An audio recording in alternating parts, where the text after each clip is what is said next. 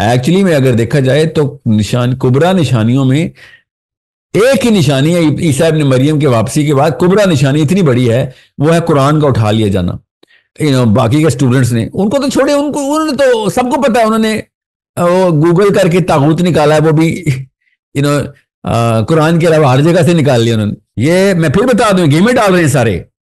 These people are playing games वो अहमद ईदाद कहते थे ना what games are you people playing एक आपने हदीस इंटरप्रेट की थी जिसके मुताबिक कुछ लोगों को जंजीरों से पकड़ पकड़ के जन्नत में डाला जाएगा। तो वो क्या एक तागूती सिस्टम के पैराडाइम में रहते हुए अप्लाई होती है या सिर्फ़ जब दीन एक अप्लाई होगा और उसके बाद फिर ये हदीस अप्लाई होगी? नहीं नहीं, तागूत के सिस्टम में तो जंजीर पकड़ पकड़ के दो में डालेगी ना।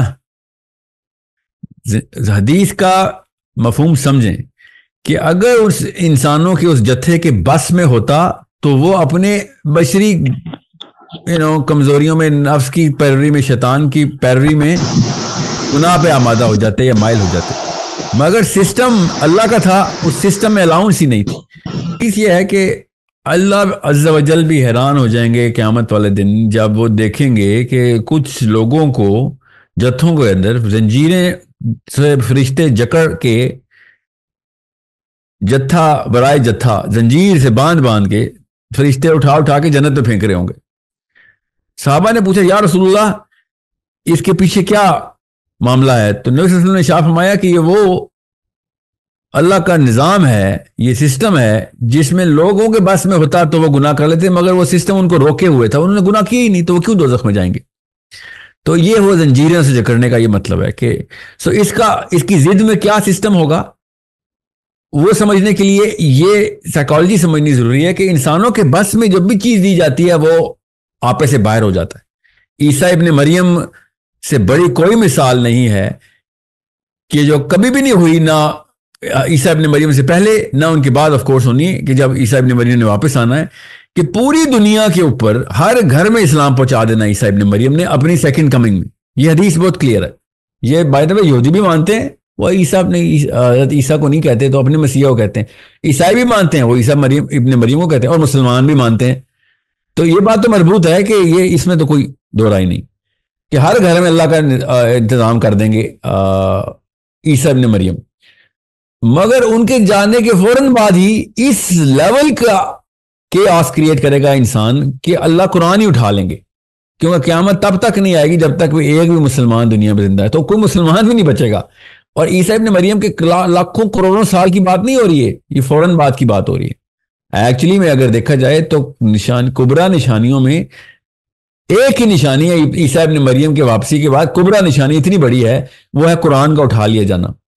ठीक है? ईसा इब्न मरियम के जितने भी मामला उन्होंने कर लेने आसलाम ने, वो जब दजाल को भी मार देंगे, ठीक है, अपना किंगडम एस्टेब्लिश भी कर लेंगे, और वो जितना भी मामला उन्होंने कर लेने उसके बाद दुनिया के मशरक से लेके मगरब तब तमाम घरों के अंदर इस्लाम ऐसे दाखिल होगा। तो आ, उसके बाद क्या होगा? इंसान अपने आपे पे आएगा ईसा मरियम सलाम के जाने के बाद कि वही दो नंबरी शुरू कर देगा। इतनी करेगा कि हिस्ट्री उसने पहले ने की कि वो एक भी बंदा इस्लाम का अल्लाह का नाम लेने वाला बचेगा ही नहीं। और अल्लाह कुरान ही उठा लेंगे। ये समझें ये है साइकोलॉजी जो कि नबी वसल्लम ने हमें ट्रेन कर दी हुई है कि इंसान जब अपने ऊपर लेता है ना चीज़ें तो आप अपने आप को बे, बेकाबू कर ही लेता है। सो so, ये है उस हदीस का एसेंस जो आपने पूछी और प्रोफेसर ने साहबा को समझाई। अब आपको समझ आएगी कि अगर हमने तागूती सिस्टम बना लिया हो तो मोमिनीन जो कि चाहते भी हैं सवाब करना वो भी नहीं चाह सकते वो भी नहीं कर सकते।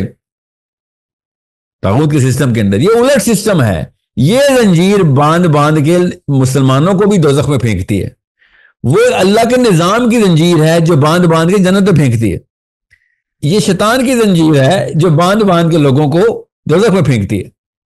तो ये ये बहुत आसान तरीके से समझ आ रही है कि ताबूत कितना बड़ा मसला है। और ये जितने भी उलमा कराम मैं बड़े with due respect with double the respect उनसे बता, उनसे मेरी गुजारिश है कि खुदारा निज़ाम को ताबूत बोलें जितनी भी वीडियोस मैंने देखी है मेरे रिएक्शन में आपने एक भी वीडियो में निज़ाम को ताबूत नहीं आ, इनके बयान में सुना। ये क्यों छुपा रहे हैं इस बात को?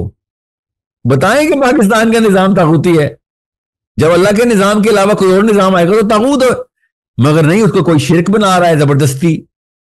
कोई कोई क्या बना रहा है कोई क्या बना रहा है? सबसे पहले निज़ाम के ऊपर बात करें। ये कोई, ये नहीं करते तो इसका मतलब है कि किसी और भी चीज़ का डर है ना इनको। बाकी ये लिबरल्स ने जो ताबूत की वीडियोस बनाई हैं, और आंटी और अंकल्स ने प्रोफेसर ने, और यू नो बाकी के स्टूडेंट्स ने, उनको तो छोड़े, उनको, उन्होंने तो सबको पता है, उन्होंने गूगल करके ताबूत निकाला है, वो भी यू नो कुरान के अलावा हर जगह से निकाल लिया उन्होंने। तो उलमा ने क्या किया? उलमा ने इसको डाउन कैस्ट किया। आप नोटिस करें एक रिसर्च करें आप सब आईएमएस में। जिस जिस मौलवी साहब ने मेंबर में बैठ के ताबूत बताया उसमें उसने निज़ाम को ताबूत क्यों नहीं कहा? और वो भी पाकिस्तान के निज़ाम को क्यों नहीं कहा? कह दें फिर कि नहीं नहीं, साहिल मियाँ गलत कह रहे हैं आप। पाकिस्तान का निज़ाम ताबूत नहीं कह दें फिर। इधर से पतली गली क्यों निकल है सारे? इस तरह तो ना करें ना। ये छुपाना भी ताबूत है। जिस डर से आप ये चीज़ छुपा रहे हैं, वो डर किस चीज़ का उसको ताबूत कहते हैं। ये है वो मामला। तो ताबूत कितनी कोई इंटरेस्टिंग एंटिटी है कि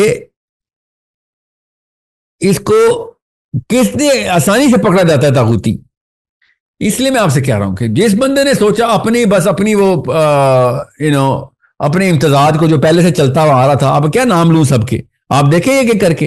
अपने जो भी कॉन्फर्मेशन बायस में था, उसी में उसने ताबूत फिट करने की कोशिश की है। ताबूत आप नहीं फिट करेंगे। अल्लाह ने बता दिया ताबूत क्या है। कुरान की आयतें ताबूत की जो आयतें हैं, वो खुद समझा जाती हैं। ताबूत पे ईमान लाते हैं। एक, वो पार्टी। दूसरा, अल्लाह पे ईमान लाता है। तो ताबूत शिरक तो ना हो सकता ना? शिरक पे तो कोई ईमान नहीं लाता। किसी बुत पे ईमान लाते हैं तो शिरक कहते हैं ना? ताबूत पे तो नहीं ईमान लेके आता ताबूत शिरक तो नहीं होता शिरक पे तो नहीं कोई ईमान लाता। कोई कह सकता है, ये ग्रामर ही गलत है, उर्दू की, अरबी की भी ग्रामर नहीं है इंग्लिश की भी नहीं है, कि मैं शिरक पे ईमान लेके आता हूँ जी। सोचे कोई कहेगा मैं अल्लाह के अलावा किसी और राम भगवान पे ईमान लाता हूँ तो मैं कहूँगा तो मुशरक है। राम भगवान पे ईमान लाना मुशरक हुआ, शिरक हुआ ना? शिरक पे तो नहीं ईमान लेके आते आप। कोई ये तो नहीं कहता, नहीं, शिरक जो है, वो है अल्लाह ताला की कुर्बत का ज़रिया। तो फिर मैं कहूँगा, आप शिरक पे ईमान रखते हैं। ऐसा तो कोई नहीं है। Nobody says that nobody even you know goes that way ये ये ये ग्रामेटिकली ये सीगल गलत है। तो जब ये कैजुअली बोलते हैं और इतने पक्के मुँह से बोलते हैं, शिरक पे ईमान लेके आते हैं जी। ताबूत शिरक है। अल्लाह कह रहे हैं, जो ताबूत पे ईमान लाया, एक वो एक वो जो अल्लाह पे ईमान लाया तो वो वो क्या है फिर ताबूत ये ज़बरदस्ती ना करें। शिरक की जिद क्या है? तोहीद है। शिरक की जिद ताबूत नहीं है। शिरक की जिद तोहीद है। शिरक को तोड़ने के लिए तोहीद आई है। शिरक को तोड़ने के लिए जो ताबूत को तोड़ने के लिए तोहीद नहीं आई तो तोहीद ताबूत को तोड़ने के लिए मेरा दीन आया है। तो ताबूत की जिद दीन है, निज़ाम है। ये मैं फिर बता दूँ, गेमें डाल रहे हैं सारे। These people are playing games वो अहमद ईदाद कहते थे ना what games are you people playing ये ये है वो, ये सब देखें इनके चेहरे और इनकी इनकी इनकी मेंबरों के ऊपर बैठ के इनके इनके ड्रामे देखें जरा। डर डर, इनका डर नज़र आएगा आपको इनकी आँखों में। ये बता ही नहीं रहे कि पाकिस्तान का कानून ताबूती है।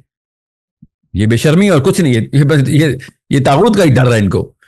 It is very simple and do not confuse ताहूत सब चीज़ें कंफ्यूज कर लेना। ताहूत ना कंफ्यूज कर लेना, बस ये याद रखिएगा। अब ज़ाहिर है, इतना पीएचडी कर लिया पाकिस्तान ने ताहूत के ऊपर तो मैं इस पर तफसील नहीं करूँगा, मगर उस उस, दो नंबरी को पकड़े। दो नंबरी को पकड़े, आपको पता चल जाएगा। पहली दफ़ा किया ना इन्होंने ताहूत के ऊपर रिसर्च तो माफ़ी दे देते हैं इनको। पहली दफ़ा ताहूत इन्होंने पढ़ा पचहत्तर सालों में। तो चलो, माफ़ कर देते हैं। पहली गलती है। मगर स्टेज टू पे आए ना, असल में बताए ना फिर ताहूत क्या है। ऐसे ऐसे उलमा ने मुझे कॉल किया है कि आपने ये क्यों कहा कि हमने कभी ताबूत की तालीम नहीं दी? क्यों इतना झूठ बोल रहे हो? मस्जिदों में कितने सैकड़ों साल से पाकिस्तान में हम ताबूत पढ़ा रहे हैं। तभी किसी को भी नहीं पता था। मेरा भी यही जवाब था सर। मैंने तो नहीं कभी किसी आपके किसी लेक्चर में ताबूत की वजह से मीम बनती देखी। आम बंदे ने पहली दफ़ा पूरे पाकिस्तान में ये कहा है? ये जुमा पढ़ने नहीं आते?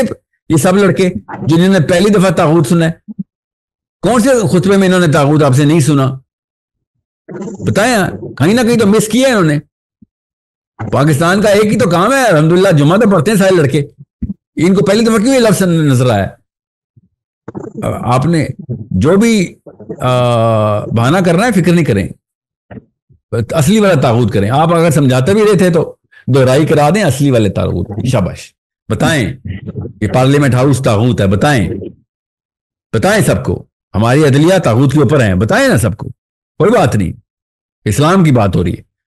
फ़िक्र नहीं करें। हमारे आ, जो भी सरबराहान है वो खुद भी बताते हैं हाँ यार हम हम दीन के तो मेंबर पे नहीं बैठे हुए ना हम तो विक्टोरिया का लॉ ही चलाएँगे ना। निज़ाम दुनिया का ऐसे ही चलता है सर यूनाइटेड नेशन से ही सब कुछ होता है अमेरिका ही सब कुछ करता है। बताएँगे वो खुद फ़िक्र नहीं करें। सो so, इस पर क्या अब और लंबी बहस करनी? वो इसमें कोई ढकी छपी बात तो है नहीं जो मैं जो मैं कोई नई बात तो कर नहीं रहा हूँ सबको पता ही है। So it's okay let's let's just uh, close this topic for now